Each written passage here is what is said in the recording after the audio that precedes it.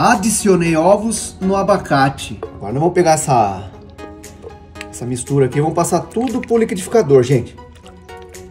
Você gosta de abacate, Lana? Amo. Eu adoro também. Ó, uma xícara de açúcar, 200 ml de leite, Isso. e uma colher de manteiga, pessoal. A manteiguinha também vai bem. Vou tampar aqui. Bora misturar isso aqui. Pessoal, ó, bati bem. Bati aqui cerca de 3 a 4 minutos. Agora a gente vai fazer o quê? Transferir aqui para um bol. Certo, amor? Certo. Vamos lá. Nossa, que cor bonita. Lindo. Tomara que esteja gostoso também. O que, que você acha, amor? Ah, vai tá. Abacate é muito bom, né, amor? Ah, com certeza. Essa receita vai surpreender vocês, viu? Pode ter certeza. Deixa já nos comentários. Eu amo receitas com abacate. Quem tá ali, amor? Quem que tá ali? Quem tá ali? O caramelo. Nosso gato caramelo. E agora, amor? Agora nós vamos peneirar aqui duas xícaras e meia de farinha de trigo. Tô curioso para essa receita, hein, Lana? Também, amor? Uma colher de fermento em pó.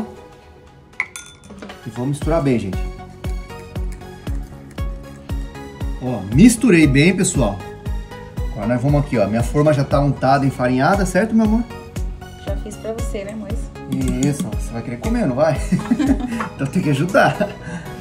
Agora vamos passar aqui a nossa massa pra forma. Ó, não tem como dar errado isso aqui não, Lana. Nossa, tá lindo. Ó, raspar bem aqui pra não sobrar nada. Acertar aqui, ó, deixar por igual. Vamos levar pro forno de 30 a 45 minutos a 180 graus. Já volto para falar para vocês como que ficou. Olha o nosso bolo, pessoal. Olha que resultado incrível. Se você tiver metade de um abacate sobrando na sua casa, você já sabe o que fazer. Um bolo de abacate. Vamos desenformar, meu amor? Vai lá, amor? Vamos lá. Ficou lindo. Ficou top, né? Olha que cheiro maravilhoso.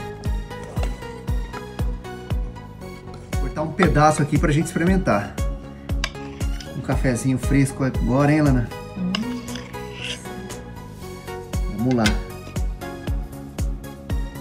Olha que maravilha de bolinho. Ó, super macio. Façam na casa de vocês. É sucesso garantido. Ó, vamos lá.